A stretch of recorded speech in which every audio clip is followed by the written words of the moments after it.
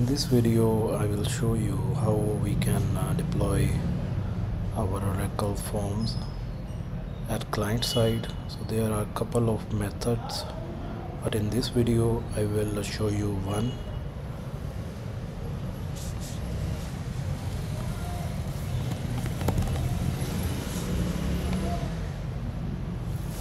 In the previous video I will show you how we have uh, designed a form so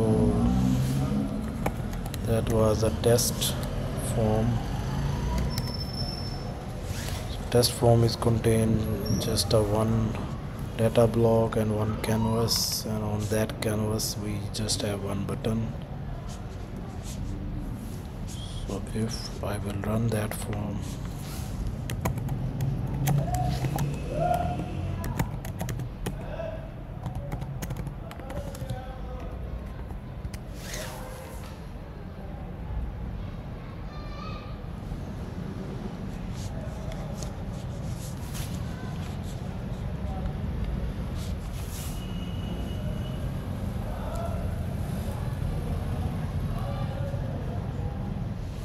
you can see it's a plain form with a simple button test me.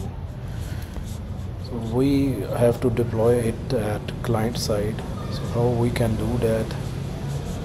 Uh, for that first of all we have to create a link for that. Here we have this forms uh, web.cfg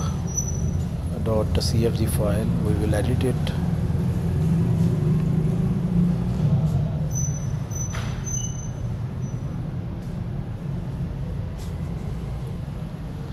and at the end of this file we will add an entry. So for adding uh, entry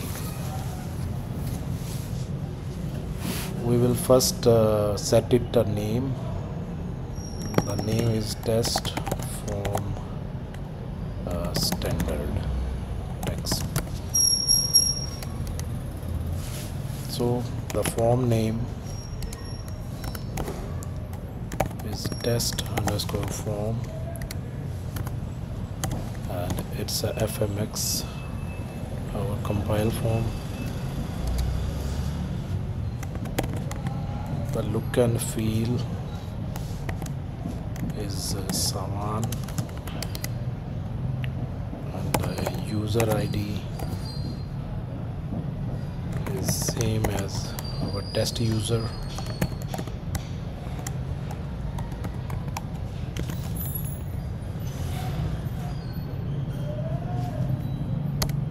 with these parameter we will save our form and uh, we will restart our server.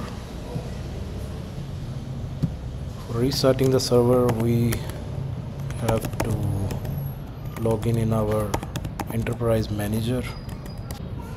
After logging you can see that our form is running form services so we will shut down it. Form services uh, shut down successfully now we will run it again.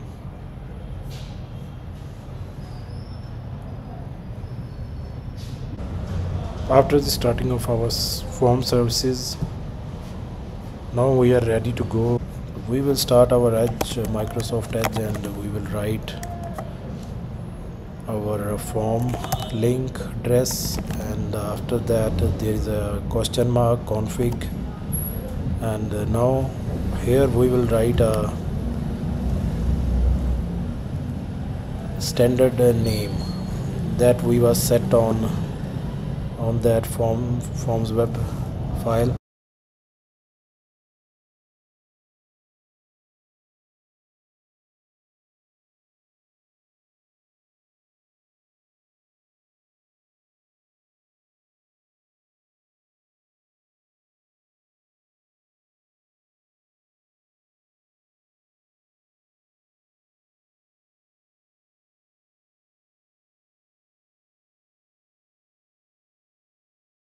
so you can see by these standard uh, URL we are able to load our form now and we can give this uh, standard URL to our client to our customers uh, by which they can access the system.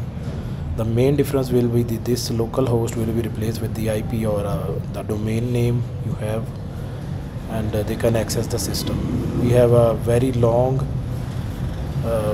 configuration in these uh, forms web file. If you read the whole file you can uh, find out how this is working. But I just uh, add some standard most standard parameters by which we are able to run the form. And uh, you can see so this is one of method uh, by which we can deploy our, our uh, Oracle forms at client side. In the next video we will discuss uh, the other method. So stay tuned